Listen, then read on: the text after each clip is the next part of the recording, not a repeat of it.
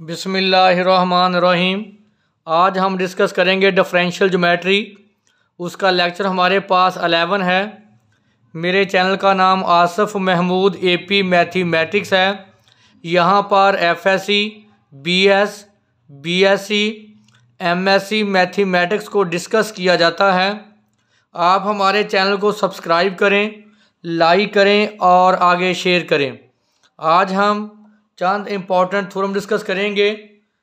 हमारे पास chapter number five है, उसका जो पहला टॉपिक है very very important topic Serret Frenet equations जो हम प्रूव करेंगे कि जो हमारे पास सीरट, फेरनट इक्वेशंस है T dot is equal to K N आपको पता है के यहाँ पे करवेचर है करवेचर है, और एन यहाँ पे यूनिट नॉर्मल वेक्टर है। यूनिट नॉर्मल वेक्टर अगर आप गौर करें तो आपने पढ़ा था कि जो आगे पास प्रिंसिपल नॉर्मल यूनिट वेक्टर है, वो था के ओवर के की मैग्नीट्यूड जब आप किसी वेक्टर की मैग्नीट्यूड लेते हैं तो उसको हम स्मॉल जैसे आगे पास के है तो ये किसको शो कर कर्वेचर को? अगर स्मॉल के लिखेंगे तो वो शो करेगा उसकी मैग्नीट्यूड को। तो नोट कर लें आप सिंपल एन भी लिख सकते हैं और आप लिख सकते हैं कि एन फ़ंक्शन ऑफ़ एस इसी तरह, जो के है, वो भी फ़ंक्शन ऑफ़ एस है। जो स्मॉल के मैग्नीट्यूड है, वो भी फ़ंक्शन ऑफ़ एक्स है। तो सिंपल इसको के लिख सकते हैं, इसको सिंपल स्मॉल के इसको सिंपल हम एन लिख सकते हैं। तो इधर मल्टीप्लाई करें तो के हमारे पास आ गया के एन तो आपने पढ़ा था कि के आपके पास क्या था? टी डॉट तो अब आप के की जगह पे पुट कर दें टी डॉट तो क्या आ गया? के एन तो देखिए, हमने यही प्रूव करना था कि जो टी डॉट है वो किसके बराबर है? के एन के। सेकंड हमारे पास है के N dot is equal to minus curvature T plus torsion B यहाँ नोट करें टी और बी हमारे पास हैं unit vectors unit vectors T को हम बोलते हैं टेंजेंट टेंजेंट यूनिट वेक्टर और बी को हम बोलते हैं binormal unit vector.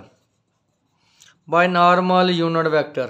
इसका मतलब ये हमारे पास यूनिट वेक्टर हैं और जो माइनस के और टा है, ये हमारे पास इनके कंपोनेंट्स हैं। तो अब हम प्रूव करेंगे कि एन डॉट जो है वो बराबर है माइनस, जो आपके पास minus, kappa T plus torsion B. अभी हम इसका प्रूफ करते हैं। तो देखें, हमारे पास हमारे पास जो यूनिट वेक्टर थे टी, एन, बी। तो देखें, एन हमारे पास यहाँ होगा, बी क्रॉस टी। तो देखें, आपने आपने बता मैंने बताया था आपको कि टी बराबर होता है, एन क्रॉस बी, एन बराबर होता है बी क्रॉस टी। और बी इक्वल होता है हमारे पास टी क्रॉस एन तो अब आप इसको डिफ्रेंशिएट करें। Differentiate with respect to S तो यह आएगा D N over D S देखें फ़र्स्ट का derivative D B over D S cross T plus B as it D T over D S जो भी आप डेरिवेटिव लेते हैं विद रिस्पेक्ट टू एस उसको हम नोट करते हैं डॉट से। तो यह आएगा N dot is equal to B dot cross T plus B cross T dot आपने पढ़ा हुआ है कि B dot cross T plus B आपके पास टी डॉट क्या है? कर्वेचर एन तो क्या लिखेंगे? के एन तो B dot cross T plus हमारे पास आ गया बी के बी क्रॉस एन तो यहाँ पे ये हम जो एन डॉट की वैल्यू है और जो हमारे पास यहाँ बी डॉट है बी डॉट हमारे पास है माइनस टॉर्शन एन पुट करें इसकी value minus torsion N cross T plus K B cross N तो नोट कर लें minus torsion N cross T plus K B cross N minus torsion देखें N cross N cross T जो हमारे पास है, यहाँ देखें एन क्रॉस टी हमारे पास minus B plus K B cross N ये एन क्रॉस बी तो क्या आ गया माइनस टी तो ये क्या हो जाएगा पॉजिटिव सॉरी माइनस हो जाएगा minus K T negative negative positive torsion B तो हमारे पास जो एन डॉट आ गया, वो बराबर आ गया, आप ज़बानी आप याद रखेंगे N dot minus K K unit vector T plus torsion into unit vector B. तो आप देख लें, जो हमने इसका सेकंड जो प्रूफ था इसका N is good B cross T मैंने इसको डेरिवेट लिया। बी डॉट की वैल्यू मैंने टॉर्शन एन पुट की और टी डॉट की वैल्यू मैंने के एन पुट की। अब इसका जो थर्ड प्रूफ है थर्ड प्रूफ हम करेंगे कि B dot B dot minus torsion N आपके पास यूनिट वेक्टर क्या हैं? टी एन बी तो बी आपके पास है यहाँ पे टी क्रॉस एन तो आप डिफ्रेंशिएट करेंगे with respect to S with respect to S करेंगे तो क्या आ गया? बी डॉट फ़र्स्ट का derivative T dot second function as it plus first function as cross second का डेरिवेटिव टी डॉट तो बी डॉट अब हमारे पास आ गया टी डॉट की वैल्यू आपके पास क्या है? करवेचर एन तो टी डॉट की वैल्यू पुट करें K N cross N plus T N cross A N cross N dot आपने पढ़ा हुआ है कि एन क्रॉस एन क्या होता है? ज़ीरो तो बी डॉट हमारे पास आ गया टी क्रॉस एन डॉट लिखें since N is unit vector unit vector orthogonal to orthogonal to N dot जो एन वेक्टर यूनिट वेक्टर है, वो एन डॉट के क्या है? अर्थोगनल है। तो हम फिर लिख सकते हैं so N is N dot is linear combination linear combination of unit vector T and B तो मैंने लिखा है N dot mu T plus torsion B यहाँ टी और बी हमारे पास क्या हैं?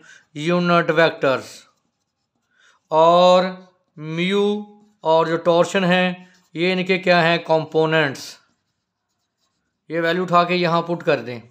बी डॉट हमारे पास आ जाएगा टी क्रॉस एन की value mu T plus torsion B तो करें apply mu T cross T plus torsion T cross B तो टी क्रॉस टी आपके पास क्या आ गया? ज़ीरो तो mu T cross T zero torsion T cross B आपके पास क्या आ गया? माइनस एन तो बी डॉट हमारे पास आ गया minus N B dot minus torsion N तो आप ये तीनों जो रिज़ल्ट हैं, ये आप ज़ुबानी याद रखेंगे। जो हमारे पास फ़र्स्ट रिज़ल्ट था, वो था T dot is equal to K N second result N dot minus curvature T plus torsion B B dot minus torsion देखिए, मैंने फ़र्स्ट भी प्रूव कर दिया मैंने सेकंड को भी प्रूव किया और मैंने थर्ड को भी प्रूव कर दिया। अगर आप देखें तो जो हमारे पास फ़र्स्ट था, वो था टी डॉट करवेचर एन अगर इसको मैं मुकम्मल लिखना चाहूँ zero T plus K N plus zero B देखें, यहाँ नॉर्मल यूनिट वेक्टर का कंपोनेंट क्या है? के है। बाकी दोनों के कंपोनेंट फिर क्या होंगे? ज़ीरो इसी तरह एन हमारे पास है। Torsion B minus curvature T अब आप देखें टी और बी यूनिट वेक्टर कंपोनेंट हैं और नॉर्मल का नहीं है तो हमें, मैं इसको लिख सकता हूँ। Minus curvature T T plus zero into N unit vector plus torsion B इसी तरह बी डॉट मेरे पास है। माइनस टॉर्शन एन, जिसको मैं जहाँ देखें, यूनिट नॉर्मल वेक्टर है, बाकी कॉम्पोनेंट क्या होंगे? ज़ीरो। मैं लिख सकता हूँ बी डॉट को zero T minus torsion N plus zero B. अब हम इसको लिखेंगे मैट्रिक्स फॉर्म में। इसको जब आप मैट्रिक्स फॉर्म में लिखेंगे, आपके पास जो रिज़ल्ट आ गया, इसको आप लिखें मैट्रिक्स फॉर्म में, यानी जो आपके पास टी डॉट है, वो है zero T plus K N plus zero B.